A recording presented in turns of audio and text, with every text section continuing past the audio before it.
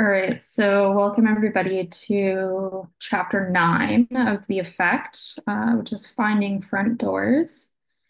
Um, I apologize in advance. I had a really busy day at work yesterday trying to figure out or trying to finish prepare or one step of preparing some samples. So um, I didn't quite have enough time to actually finish making a presentation. So we're gonna, it's gonna be a little bit janky. Um, but hopefully it will still be informative and useful for everybody. So yeah, as I said, we're going to be doing chapter nine, finding front doors. And it'd be great if my keyboard would work. There we go. So what we're going to do is we're going to learn how to find front doors and DAGs. And basically this consists of two different things, defining and identifying natural experiments and learning about the uh, aptly named front door method. So closing all of the back doors, which is what we talked about in chapter eight, is a very daunting task, especially when you've got a very uh, large DAG with lots of variables on it. Um, what is especially problematic is that sometimes you don't actually have the ability to close down all the backdoors. Sometimes you can, but there may be variables that you have to control for in a backdoor, but you can't. Maybe because you already have a data set and they aren't in your data, or because they're sort of nebulous unknown variables that you just physically cannot control for, you can't measure. And this is where finding front doors comes in. So there's two ways to find front doors. The first is to find a setting where some of the variation has no backdoors or has only a few backdoors that you can readily close. These are something that we would call a natural experiment. And the second way is to estimate individual components of a front door path so individual arrows, even if the overall effect of treatment on outcome isn't identified. And this is what the author calls the front door method. So first thing uh, he talks about is isolating parts of a DAG with no backdoors. And this is where we want to focus on a part of the variation in our sample that isn't driven by backdoors, or as I mentioned before, is only driven by a few backdoors that are easily controlled by. This can be done in two ways. This can be done by either being very judicious in which sample we select or using certain statistical adjustments, which we do not get into in this chapter and we'll discuss in the second half of the book.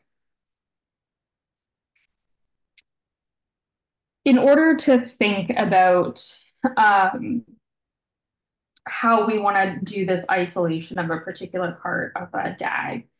Uh, the author introduces us to randomized controlled experiment and there are randomized controlled experiments, and this is the cleanest approach to isolating a path with no backdoors. Um, in this approach, essentially what happens is a researcher is actually stepping in and directly controlling who gets the treatment and who doesn't. Uh, this is ideally done with randomization, hence the name randomized controlled experiments. And when you do this with randomization, you're essentially ensuring that all of the variation in any of the backdoor variables that might be interfering in the relationship between your treatment and outcome are going to be unrelated to whether they got the treatment or not. So by introducing randomization, you're essentially saying it doesn't matter what your age, gender, weight, whatever is. I just threw a bunch of numbers in a pot, used an RNG, and got out whether you got the treatment. This is a very easy way to close all the back doors, but unfortunately, explicit randomization isn't always feasible. Um, so we can't always do randomized controlled experiments. Um, and, you know, an example of this um, from my own research is, uh, I mean, I know this book focuses on social sciences, but I work in the field of paleontology where everything already happened and you can't take a dinosaur and do a treatment to it because the dinosaurs are all very, very, very dead. So we have to use uh, a lot of other methods in order to get at some of these questions. All right, so this is where my presentation actually ends and where we're going to get a little bit creative. So in that sort of introduction to randomized controlled experiments, um, the author talks about the lottery system uh, towards charter schools in the United States, which is basically where you have a DAG that looks like this, where you've got your uh, treatment of interest, your whether or not a student goes to a charter, and whether they have greater student achievement or worse student achievement. And you've got a whole mess of confounding variables here. So ideally, you want to identify a front door here um, that isn't affected by all kinds of stuff. And conveniently, there is a lottery system used by a lot of these charter schools to allow students who wouldn't otherwise be able to attend one to actually get into one. And he introduces this in the randomized controlled um, experiment section, but then later reveals that it's actually just a, it's basically just a natural experiment. Um, so I think it's sort of convenient to just say, we've got this example. This is a natural experiment. Why is it a natural experiment? So let's talk about natural experiments. Basically, a natural experiment is any real world setting in which some sort of randomization has actually been done for us. So instead of having a researcher going in, rolling a pair of dice, and saying, okay, persons one through 10 get the treatment, and persons 11 through 20 do not, you go out into the real world and you find a data set where some of these variables have happened and sometimes they haven't, and hopefully everything has happened more or less randomly. So we can think about natural experiments by sort of looking at our idealized randomized controlled experiment, what makes them work, and how can we find this in the natural world. Basically, a randomized controlled experiment works because they fix some of the variation in treatment to have no backdoors. So as long as we can have no backdoors in some way in the natural world, we have a working natural experiment. So we call any sort of variation that has no, or any sort of variation treatment that has no open backdoors, a source of exogenous variation, which is a very fun and, I don't know, exogenous is a good word. Um, so basically, this is any path that we can walk from the source of exogenous variation to the outcome that is closed or contains our treatment. So we can use plenty of things as sources of exogenous variation, even if they're not purely random, as long as they are as close to random as they can possibly be in the context of our DAG or data generating process. So as an example, we've got a causal diagram for um, a natural experiment here. We've got our treatment on the left, we've got our outcome on the right. And once again, we have a big smorgasbord of confounding variables. What's great is once we add this sort of natural randomness or natural pseudo randomness, um, we can therefore draw a front path directly from that natural variation or natural randomness to the treatment, to the outcome, and bypass all of this sort of messy business in the all kinds of stuff variable. Of course, there are some very important to consider differences between randomized controlled experiments and naturalized or natural experiments. Sometimes there are going to be backdoors from the natural randomness to the outcome. This doesn't happen with pure randomization because we're very careful to make sure that it doesn't happen. But as long as we can control for something to shut that backdoor down, assuming that we've identified it, we're okay. Um, this process is the same as when we're identifying the effect of our treatment by controlling for things. And we're just picking a variable where the backdoors are easier to control for than one where they're difficult or impossible to control for. Natural experiments, as the name suggests, are more natural. so often, uh, if you're doing a study on people, excuse me, can you not play while I'm talking? Apologies. So generally with a natural experiment, if you're working on people, uh, people don't even realize that they're part of an experiment. I mean, if you're working on plants or animals, even if you are doing a randomized control experiment, likely they don't know that they're part of an experiment either. Um, what's really cool about this is that the observations are actually likely to be more realistic in a natural experiment. Um, we have a, um, a thing that we talk about in biology, which is you can have statistical significance, but do you have biological significance?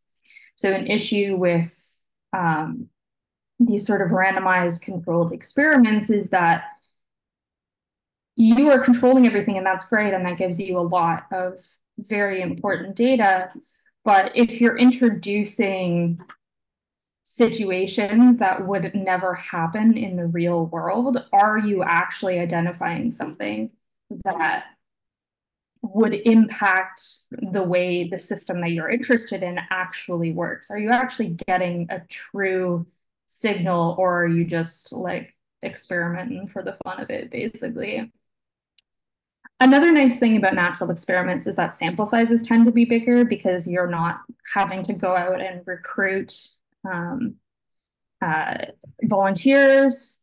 You're also not going to be getting a subsample of the general population of people who just like to volunteer for stuff. So what this all means is that we're seeing the effect um, or sort of on the flip side, you're not getting people who are, you know, just volunteer types, but you're also only seeing the effect on people or individuals who are sensitive to the natural randomness that you've chosen as your um, natural experiment.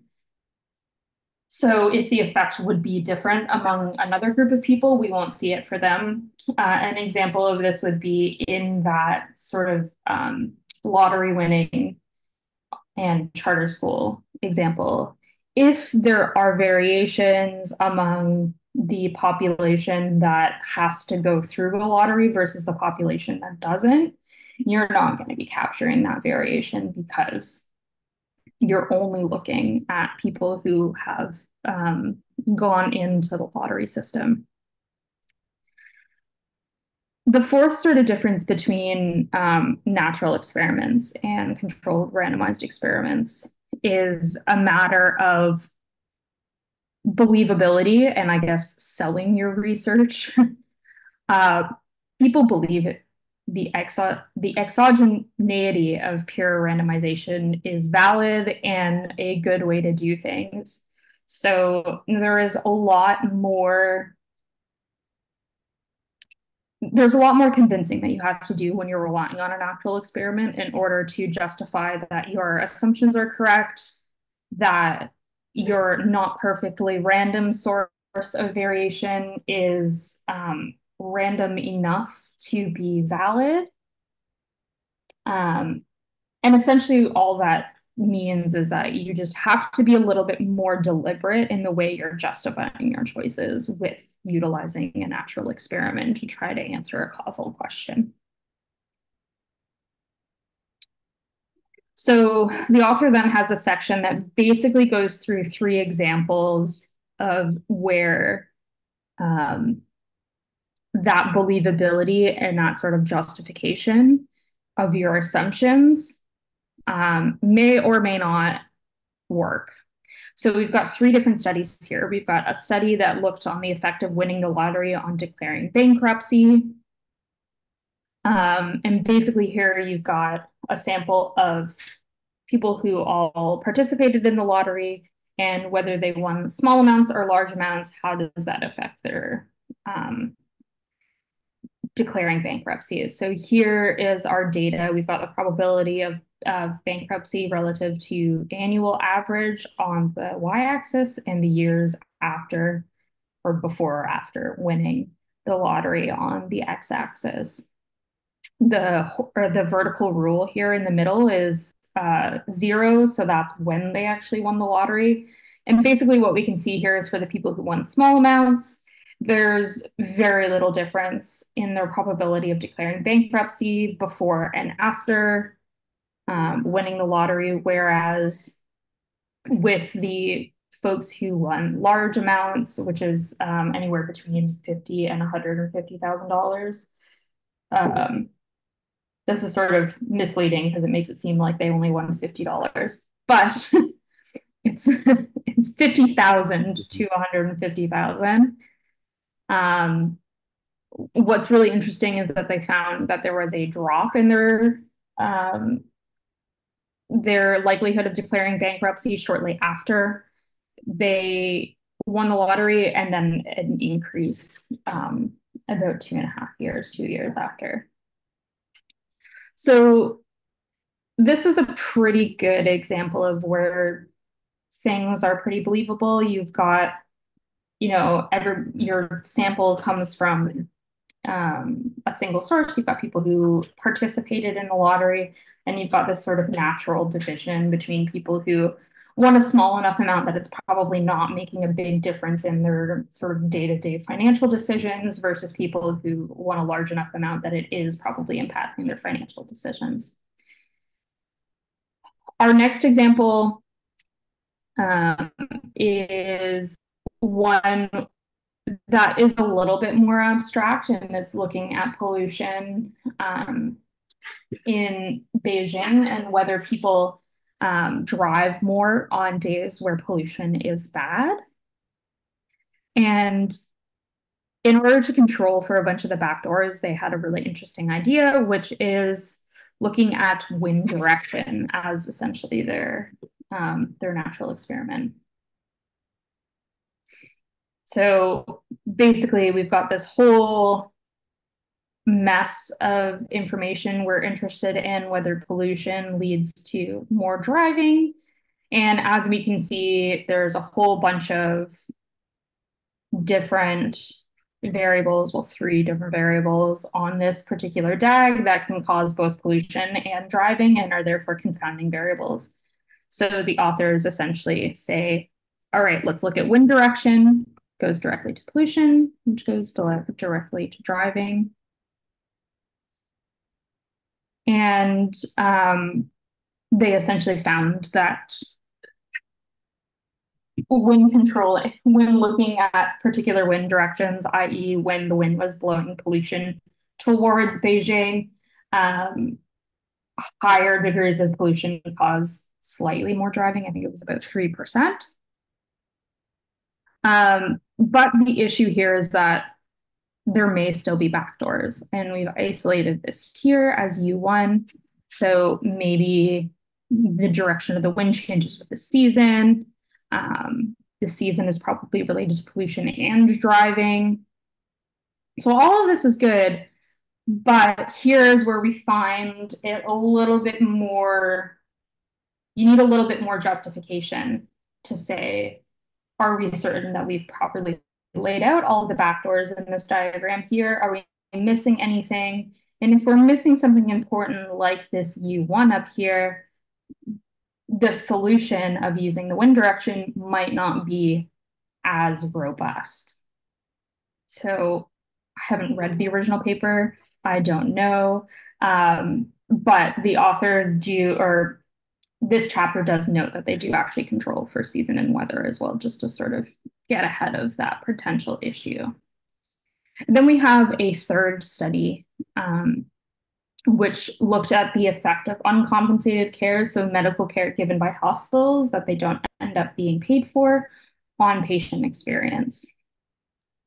And what they use as their sort of natural experiment is um, the 2014 Medicaid expansion in the United States. And this is where some states, but not others, expanded access to the Medicaid program. And the assumption here is that with the expansion of Medicaid, those hospitals will get increased health insurance coverage um, that they might not have received otherwise, and therefore should be getting fewer uncompensated costs. At least that's my understanding of this. I do not live in the US, mm-hmm. so um, this one was a little bit harder for me to follow because I, I this example was a little bit harder for me to follow because I, I just like don't fully understand the Medicaid system.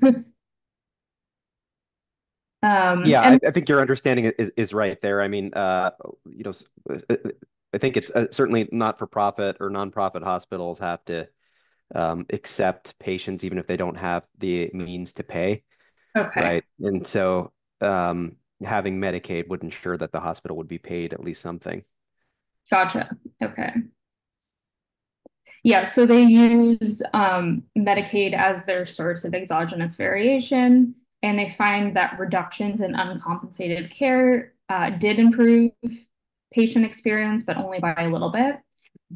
And the question here is, kittens, hey, I don't know why you're doing this right now. um, so the question here is, does this work as a source of exogenous variation? Um, states don't accept or reject Medicaid at random. There is huge politicization of Medicaid in the US. Um, and that is drawn very very much along party lines. I mean, I guess in the states that's sort of if it's politicized, it's it's drawn along party lines because you guys only really have two parties.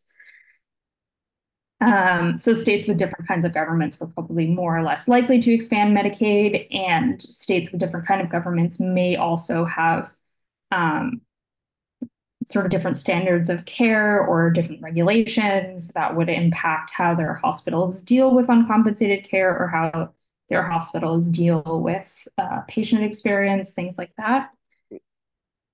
So this is an example where, um, again, I've not read the paper. I don't know how well the authors justified this, but you can see a lot more potential issues interfering with your choice of uh, natural exogenous variation.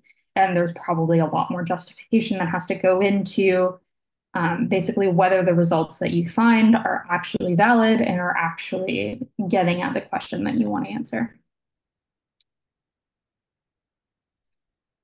So isolating front paths is always feasible. Um, just like you can always close back doors. But the further away you get from pure randomization, the further away you get from that sort of idealized, randomized, controlled experiment, the more things you have to control for, the more assumptions you have to make, and the more work you have to do in convincing people that your assumptions are actually believable. And sometimes the further away you get from that pure randomization, the unfortunate fact of the matter is, is that you are not going to get to that. Die. The fact is that you're not going to get to that believable assumption. Sometimes this method of using natural experiments is just not going to work. So yeah, and going back to that that Medicaid expansion example, that that one was was tough for me uh, just you know again i haven't read the study either but just believing that that we're really getting to that front door and controlling for all the back doors i mean there was mention in that study that that they were controlling for some um, local and state level uh, variables right? Maybe the political environment or something like that but yeah. feel like that one there, there's just just like almost any other um, like social science experiment, there are just so many back doors that it just seems unlikely that they would would really be able to close for all those, given that that, that yeah. really wasn't a random uh, a random phenomena phenomenon. That yeah, I think healthcare is particularly tricky because um, you have like uncompensated care, but you also have you know level of funding of that particular hospital outside of that uncompensated care and um, politics, which they talked about. Um, I'm sure there's like socioeconomic variables there as well, although that probably ties into level of funding of the hospital. Um, but yeah, I also had, um, as not a social scientist, that study would be the one where I would have the most questions about, Mm-hmm. for sure. So we wrap up the chapter by getting into um, the second method that we talked about sort of at the beginning, which is the very um, aptly named front door method. Um, and while this is very cool and we're like, whoa, there's a front door method, let's use it. It only works in really specialized scenarios. Um, so basically the way the front door method works is you've got a causal diagram that looks something like here in figure 9.6. You've got a treatment, you've got your outcome, there is some variable M that is mediating your treatment and outcome variable, and then you've got some variable W um, that is a confounding variable and causes your treatment and outcome. Um, therefore, this is um, a bad path, and or the path that goes along W is a bad path. Unfortunately, in this scenario, W can't be measured, so we can't control for it. So normally we'd be at a little bit of a loss here. How can we sort of close this path if we can't measure W? Um, this the solution is basically to isolate our front door path into different segments. So what we can do is we can measure the effect of M on outcome, and we can sort of separately measure the effect of treatment on M. Once you have those two effects, you can sort of magically combine them and you've sort of successfully measured two components of this that are not really being impacted by W and get your, your fun answer. So you can identify both treatment to M and M to outcome, combine them. There's a classic example that is used when discussing this method, and this is smoking. So we've got a causal diagram here where we've got smoking um, as our treatment variable of mm-hmm. interest and the presence or development of cancer as our outcome variable of interest. Whether or not a person smokes or gets cancer are both caused by a ton, ton of different things. But we also have this sort of example here where smoking causes an increase in tar in lungs and having more tar in your lungs causes more cancer. So what we can do here is, well, we can't control for lots of things. We can measure the impact of smoking on the amount of tar in your lungs, and we can also separately measure the amount or the impact of the amount of tar in your lungs on cancer. So the example we have here is let's say that smoking causes, or an additional cigarette per day causes an additional 15 grams of tar to your lungs over 10 years. So basically 365 more cigarettes per year times 10 years. Um, is that, I guess, 3,650 more cigarettes causes an additional 15 grams of tars. Tar, grams of tars, grams of tar.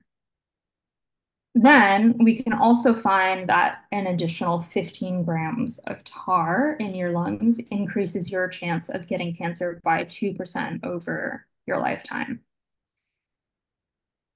So we can put that together, those two sort of separate lines of evidence together to essentially say that or increasing your smoking by an additional cigarette per day will increase your chance of getting cancer by 2%. And this is mediated by that variable of tar in the lungs. So that's the front door method. It sounds really great, sounds really easy, but it's not used very often because it requires that there be some variable like this variable of tar in your lungs uh, in your causal diagram. Um, so this variable must exist entirely between your treatment and your outcome. It must be not linked to anything else, and it must capture a large portion of the reason why treatment affects outcome. Um, that's a lot to ask of a variable, and it turns out that that doesn't actually seem to exist in the real world all that often. So while the front door method is very useful, um, the situations in which it's applicable are maybe not as uh, widely available as we would like. And that was the end of the chapter. Um, did anybody have any questions or sort of pain points in the chapter, I guess, before we maybe take a scroll through the homework? Uh, no, just just a comment on that that last example. You know, e even that one felt maybe a little unrealistic.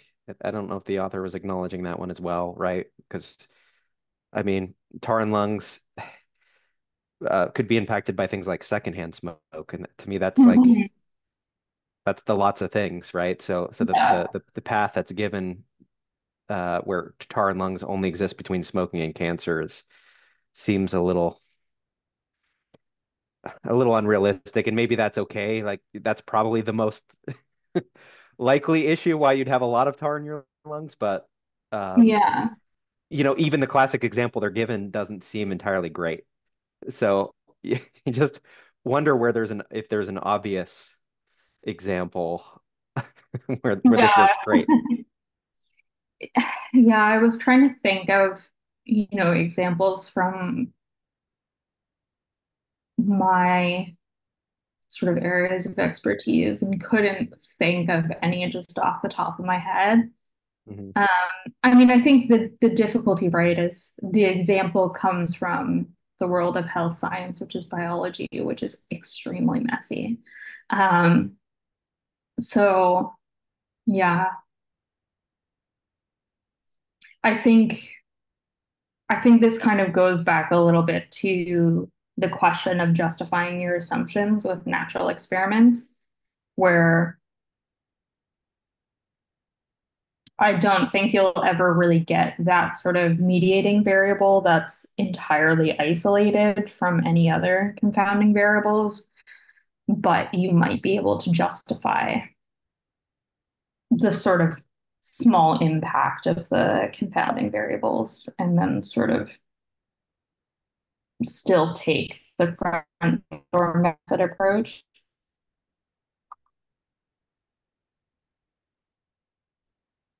Actual examples occurs I can't think of off the top of my head.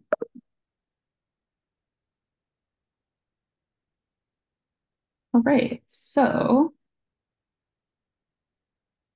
yeah, and while, while you're pulling that up, you know, I'll just speak to, to my field. You know, I've I've done some uh, I work in, in insurance, uh, specifically health insurance. And usually, you know, I, I might benchmark two populations there, try to understand if a certain like hospital or provider system is overtreating relative to another. And, um, you know, typically what we do is we, we employ matching and we assume if you have, you know, a, a good collection of demographic variables, diagnosis information for, for the different populations, that's you're you're kind of getting getting to your answer there, but uh, this finding front doors method is is is kind of foreign to, to me.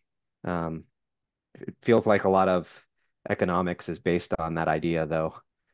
Um, yeah, yeah. As opposed to what, what I've seen in the wild.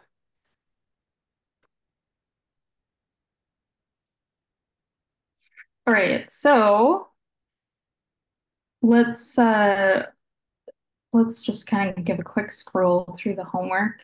Um, which of the following describes when randomization of treatment occurs without a researcher controlling the randomization? It should be easy. I'll take the easy one. That would be a natural experiment.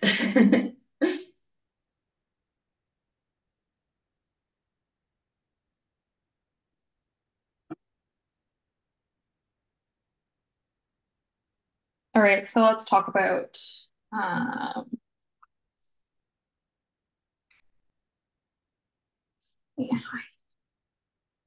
Actually, I'm sort of interested. Did anybody catch the bonus fifth difference described in the chapter having to do with sample size and representativeness for the uh, the four major or the major differences between randomized experiments and natural experiments?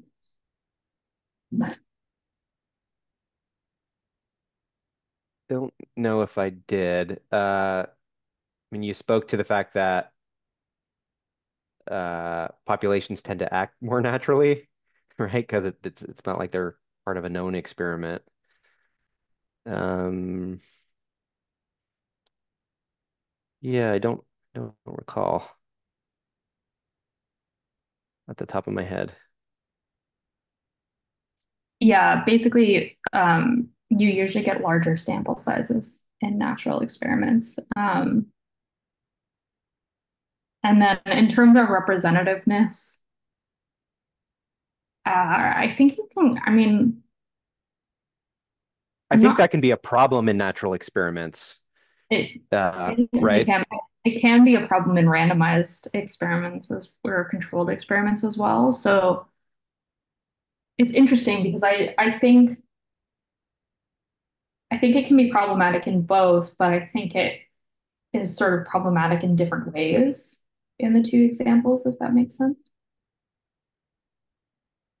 Well, I'm, I'm thinking about like the charter school example, and uh, you know, I'm reading this this other book that actually goes into detail about that specific situation, and there's kind of a lottery situation, and uh, um, it, you know, what you're really measuring is the impact on folks that would only go to the charter school if they won the lottery. But there are also folks that won't go to the charter school even if they win the lottery. Mm-hmm. Um, and there are folks that don't win the lottery but still find a way to, to go to the charter school. Yeah. And, and so you're really only measuring that subset of the population that that that will will go if they win the lottery but won't go if they don't. And those are called compliers. And so that that's kind of a representative issue. And I think we, we kind of talk about some of this next week. I just kind of previewed it a little bit. Like that's called local average treatment effect. Um, so you might not be capturing the larger population that that you're really really interested in there. Yeah. Um, and that that came into play with that lottery example too, right? I mean, you're you're really your larger question probably has nothing to do with the lottery itself. I don't right. It's probably just about like income or you know wealth um, in bankruptcy. But you know you have to deal with what what you're provided there, and you know the lottery is just one mechanism where you get kind of a natural experiment going on, but it's still a subset of the population. Absolutely. Um, I mean, you also get this with the the experiment or the the randomized or controlled experiments as well because um, or at least in in human studies because you need to recruit volunteers. So you're getting um, you're getting a, a subset of the population that will choose to volunteer for things a subset of people who are likely to follow up in um, in a study that requires any sort of longitudinal data um, famously in psychology, you know, you're getting mo mostly college students. So you're really only measuring the psychology of college students. Um, yep. So I think you definitely get similar issues in in both natural experiments and the controlled experiments, but the specific issues or the specific ways in which you're sort of subsampling your larger sample of interest are going to be different depending on how your study breaks down. Yeah, you certainly have a, a generalization issue, um, yeah. right? If you're if you're only dealing with university students. And you, And you know, like I I understand that in a lot of historically speaking, I don't know if this is true today, but like in a lot of medical studies, clinical research, you know, um, females have been underrepresented. Yeah, I was actually just going to bring up that that exact example. Um, and this is like even a problem in animal studies where theoretically you don't have to deal with that sort of self that sort of selection bias or self-selection bias of people. Um, a lot of uh, medical studies that are taken undertaken on like rats and mice um, would only use male mice. Um, they also would uh there's a bunch of like weird stuff and and this is has ended up like impacting our understanding of things like fear where like it turns out that like some of the responses to like researchers is different among well i think different among male and female like rodent like lab rodents but also their responses are different depending on whether the researcher is male or female so like secret confounding variables abound kind Yeah. of thing Wow. Um, I think an interesting thing to wrap up on on our last um, uh, our last sort of little bit, unless people want to break early, is to maybe think of some of these examples of research questions that are um, question four. We hear here we have research questions that are causal in nature but cannot be feasibly answered by a randomized experiment. I gave the example of paleontology in the discussion, so we can think about some of those. Um, yeah, maybe we should just wrap up on on some of that. So like what sort of examples, I guess, from each of your own areas of research would fit this sort of um, inability to randomized experiment?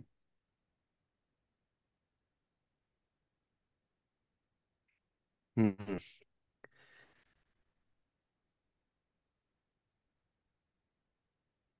I mean, I, I this is not, you know, for my field, but we were talking about medical research, right? And there's like ethical dilemma Mhm. with with performing research on humans. I, I, they, for whatever reason, we've we've come to believe it's okay to do the research on uh, other mammals.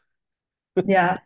And there's issues there with um, you know, whether they're whether other mammals are represented, even even primates um, Mhm. are representative enough of humans to make some of these sort of this medical research actually applicable.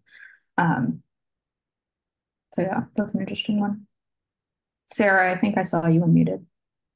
Uh, yeah. So there's a whole discussion in econ because there are some experiments being done in Kenya on like unconditional income.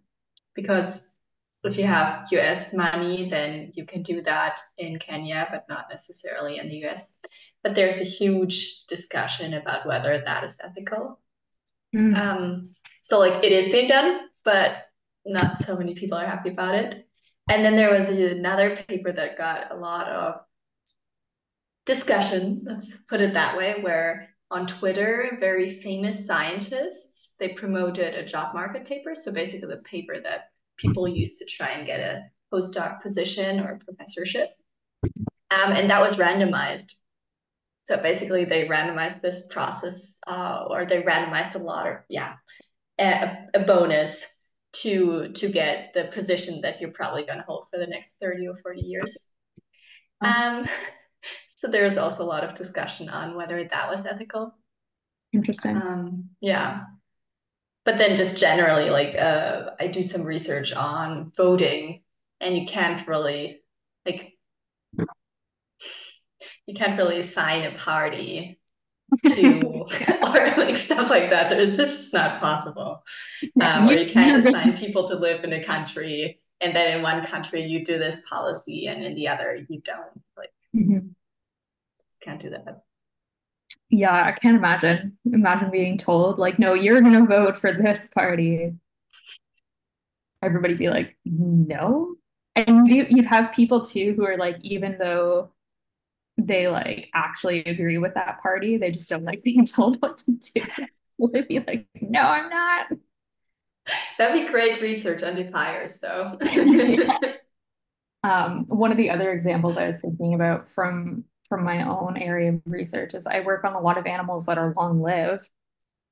Um, so you know, in the context of like a master's or PhD study, I can't like raise a bunch of wolves from puppyhood because like I don't know, just funding. I don't have the funding to do a long-term study like that.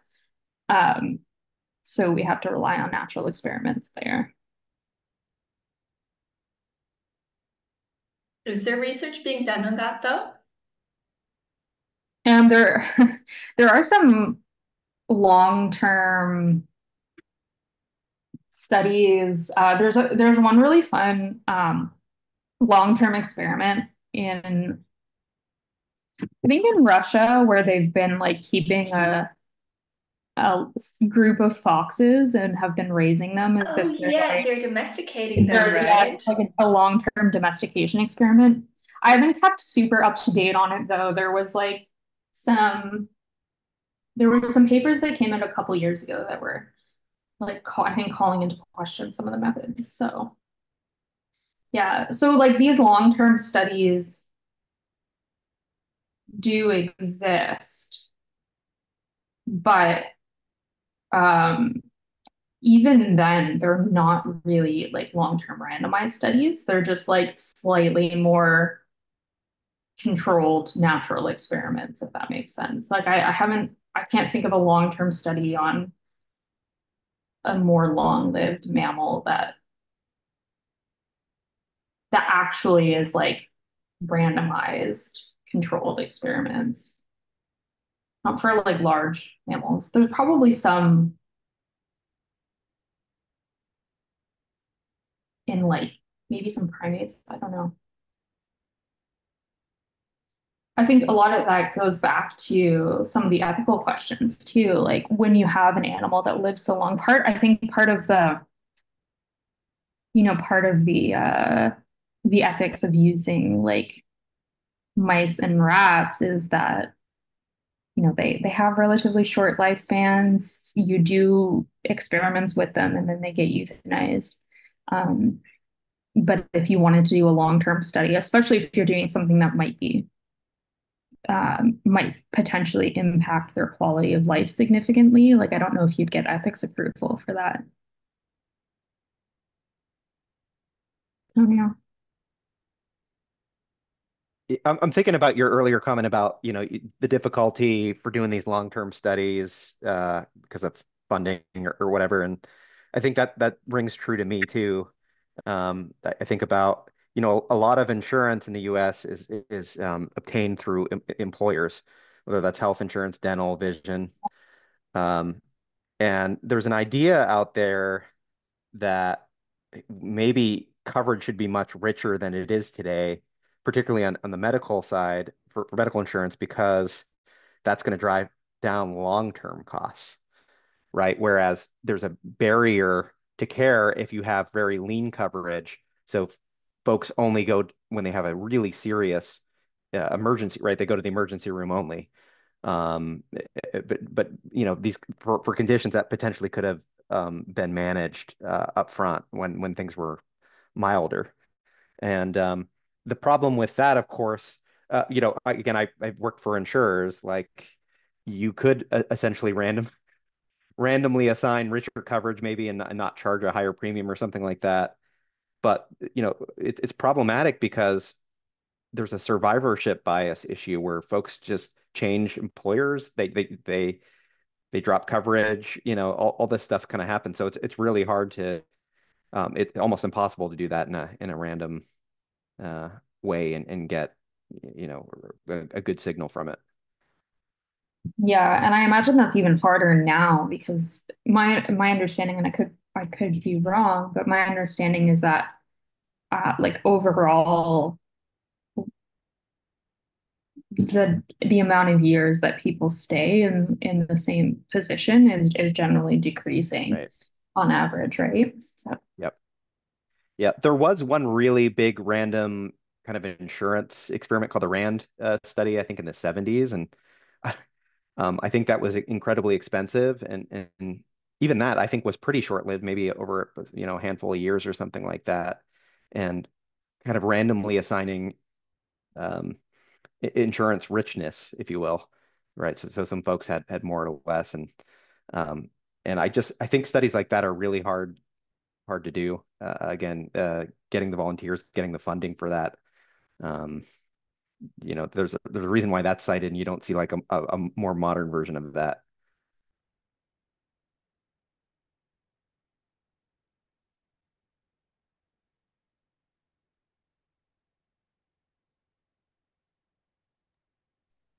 All right, so we've got four minutes left. I don't know if anybody has any wrap up comments.